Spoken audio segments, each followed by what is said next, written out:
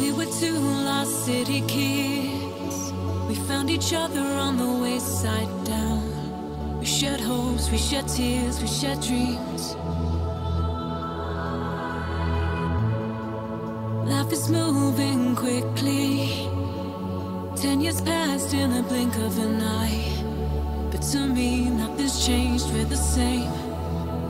Do you?